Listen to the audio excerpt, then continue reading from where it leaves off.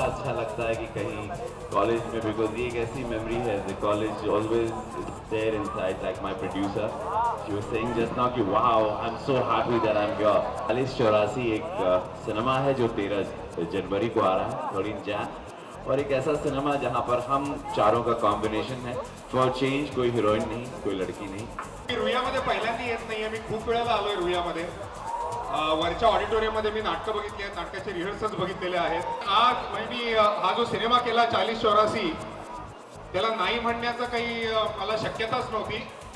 कारण एका रुईया पासआउटने तो प्रोड्यूस केलाय. आम्ही चाळीस चौरासीचे काही टी शर्ट दिलेले आहेत.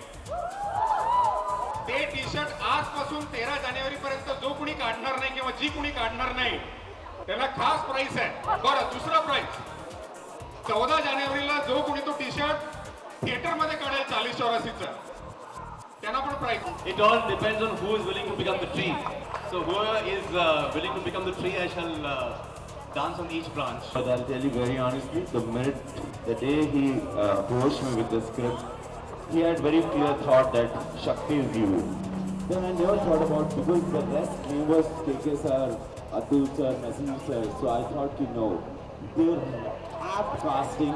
I can't, I can't think what he's done, or what uh, Atul sir has done, or Naseem sir. I, I was very happy with मैं सोच भी नहीं सकता हूँ कि I have to think कि मैं कौन सा किरदार इस तीनों का करूँ because ये लोग उसी रोल के लिए बने the best part about the film and scripting and Hriday Shetty कि ऐसा लगता है इनके अलावा ये रोल कोई कर ही नहीं सकता सो मैंने कभी सोचा नहीं करते हुए कि मैं शायद इनका role no I can because they were fantastic they are fantastic college में आकर बहुत अच्छा लगा और ये पहला नारियल हम लोगों ने श्री गणेश किया यहाँ से प्रमोशन का। सो बहुत युवाओं के बीच आना था यूथ के बीच हम लोग एक ऐसा सिनेमा लेके जहाँ चार मेल एक्टर्स हैं और चारे चारों हिंदुस्तान के खतरनाक एक्टरों में गिने जाते हैं। और एक वो, वो सिनेमा लेके आ रहे हैं तो क्या विपरीत है क्या नया है? हृदय शेट्टी जो इनके डायरेक्टर हैं उन्होंने बहुत अच्छे स्क्रिप्ट के साथ हम सबको बाँध के लाया। और मुझे लगता है नसीर सर का वेनेसडे डर्टी पिक्चर के बाद जो एक क्यूरियोसिटी बहुत है यूथ में भी as well as the mass में भी ऑडियंस में भी। उनको भी बड़ा संतुष्टि मिलेगी के के के लिए, अतुल के लिए, हमारे लिए, जितने हम लोग के फैंस हैं, चाहने वाले। They will be very happy satisfied कहते हैं ना ढाई सौ रुपये की टिकट रिटर्न पैसा मिलता है कि नहीं, वो ये है कि इसका पूरा एक एक पैसा रिटर्न आएगा। And this film will do very well बड़ा अच्छा लगा रुया कॉलेज में आके, और किसी भी कॉलेज में जाके बड़ा अच्छा लगता है। और क्योंकि अपने जो कॉलेज के दिन होते हैं, वो याद आते हैं, कहीं ना कहीं।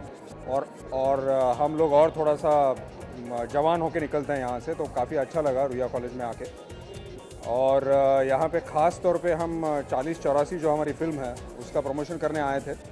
तो जो गाना हमारा है अगभाई सेटिंग सेटिंग झाला तो सब जो यहाँ पे लोग हैं, जो स्टूडेंट्स हैं, उनको ये गाना गाते हुए सुन के काफ़ी अच्छा लगा। इतना कहना चाहूँगा कि कॉलेज की लाइफ दोबारा कभी आती नहीं है, पर हमारी लाइफ में बार बार आती है क्योंकि हम आते हैं ऐसे प्रमोशंस के लिए, और बहुत मज़ा आया यहाँ पे आके। और एक ऐसी फ़िल्म हमने बनाई है जो बहुत ही उम्दा है एट द सेम टाइम पैसा वसूल है। सर, इसमें सबसे बड़ा गुरु है इस फ़िल्म की स्क्रिप्ट